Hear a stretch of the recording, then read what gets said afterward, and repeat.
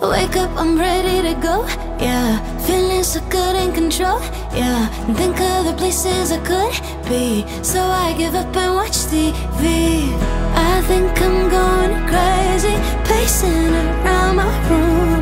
Tell me that it gets better, being alone, alone together. The world is upside down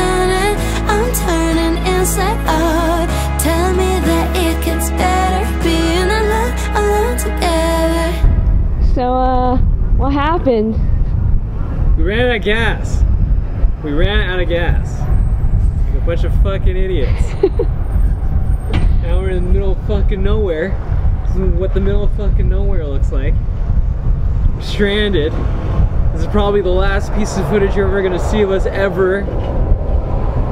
God, this isn't how I imagined I'd die, man. so whack. Welcome back to the Life After Disney studio vlog. As much as I love hustling hard on my art business, it's important to me to take vacations from time to time.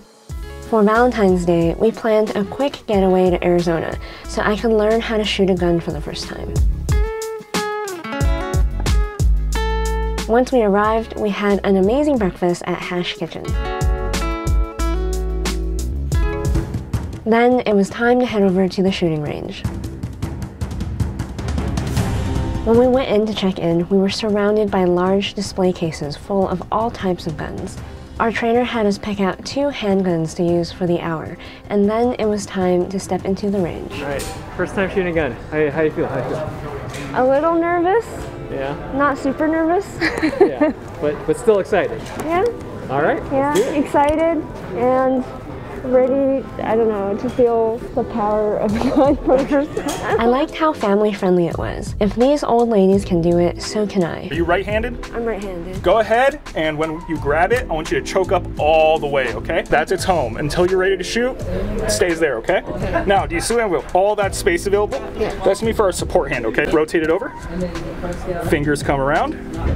And I want you to just go ahead and look through this Mm-hmm. and find a little red dot. Do you see it? You might have to angle it up and down a little bit. You see that dot? Yeah. Now, what I want you to do, I want you to lightly pull it back until you meet a wall of resistance. Do you feel that wall of resistance? Yeah. That's called the wall, and we prepare our trigger. When you shoot, pull it back to that wall. I want you to give me a nice, deliberate press through that wall all the way to back. That's how you're gonna shoot, okay? Okay. I'll go and take it from you. I'm not gonna hand you a loaded weapon. I want you to load it yourself, okay? Okay. So the slide, this portion, metal portion, is gonna be to the forward, forward uh, set, okay? All you're gonna do with a ball of our round facing forward, smack it in there. Aggressive, okay? Everything we do is aggressive on the gun. All I want you to do, use your palm, pull the slide to the rear, let go. Okay. You would then be loaded and ready to fire, okay? Okay. Now we're gonna go ahead and rack our slide, okay? So pull it to the rear and let go like a slingshot. We're good to go, okay? okay? You ready? Oh, we didn't get it. Go ahead, rack that for me again. Okay. Pull it all the way to the rear, nice and aggressive. Get angry at it. Let's try it again.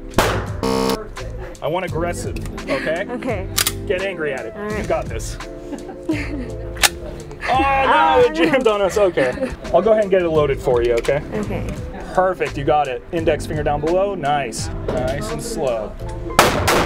Boom. And that was my first gunshot. Vincent was up next. He didn't need that much help since he's fired guns before. Be able to look through that gap and see the front sight post. I see it. That's sight alignment, place it on our target, that's sight picture. Now focus entirely on that front sight post. Rear sight should become blurry and our target. This should be full clear. Right? I That's see. what we're focusing on. If you're seeing doubles, you're focusing on the rear, okay? I see. right okay. on that front side post, and then go and take your safety off. All you're gonna do is flick it straight down with your thumb. Now, once you place your finger on that trigger, and this trigger basically doesn't have that wall or anything. Okay. Literally just put it on and a nice slow press. Nice slow press. That's Okay. all it takes. Here's the thing though, see your thumb?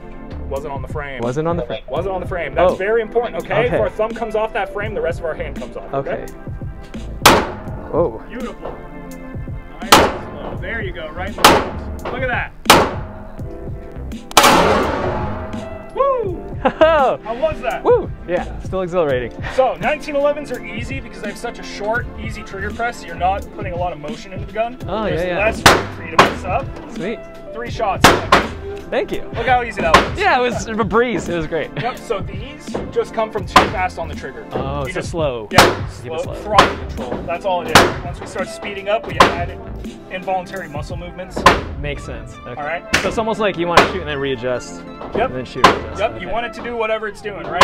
All we're doing is holding the gun. We're not driving it anywhere. Okay. All right, as soon as it recoils, if you can, drive it back down. Otherwise, just let it naturally come back down. Sounds good. Okay? Time for round two. Shooting multiple rounds, trying out the other gun this time. System.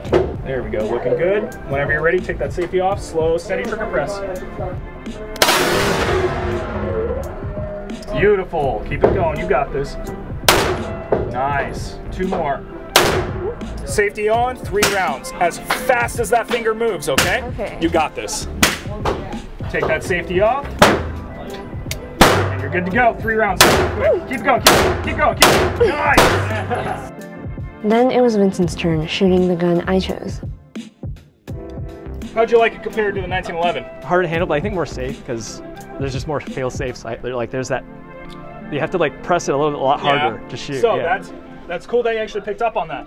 The reason, only reason 1911s have so many safeties is because of how light that trigger is. Yeah, makes sense. So, striker fires, they learn that trigger pull and heaviness is a safety in its own. Makes sense. The, Yeah. the majority of negligent discharges don't come from our finger.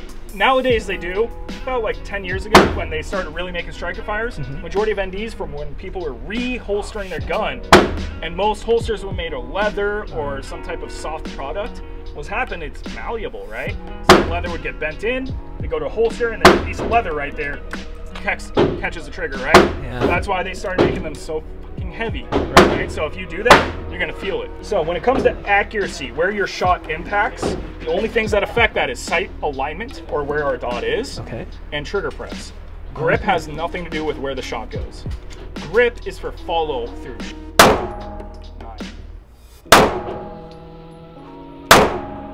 Uh, that's all. That's all she wrote.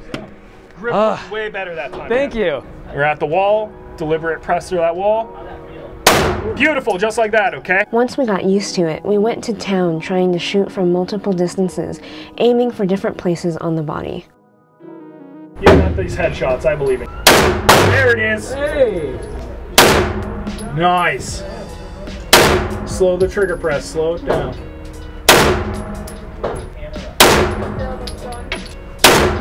Beautiful. Oh, nice. And that's when I somehow got four headshots in a row. Or anything, right? If someone is exactly 21 feet away from me and they decide to charge at me, just sprint. By the time I get my gun out and effectively engage him, it's too late. Oh. They will they will be on top of you. All right? It doesn't matter. My fastest draw to shot is 0.78 seconds. They'll still beat that. Wow. Especially if they have a knife or something. It's not, you know, movies are ridiculous. They take one shot. It could take 8, 15, 32 rounds to put it. Right? 21 feet is our like safe space. Like, hey, if you're getting closer than that, you know, no bueno.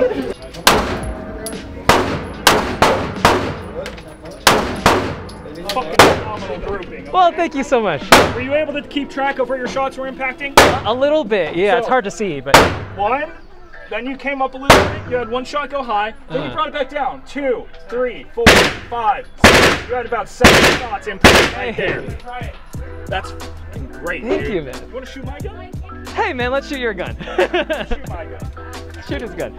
Okay, So, so, this is a CZ P10C. All right, it's basically a Glock but better. Pretty big misconception about guns and that training equals shooting it. It's not the case. With the firearm, 80% of your training should be done at home with an unloaded weapon doing dry fire. That. I see. Then 20% is to confirm your dry fire. Oh, I was doing everything right. Looking good. take it to the range. Yep. Gotcha. So I personally spend about 20 minutes every day dry firing my weapon. I have my students do a minimum of five minutes a day or 15 minutes once a week. Yep, then go and rack around in the chamber, and you're good to go, man. Whoa.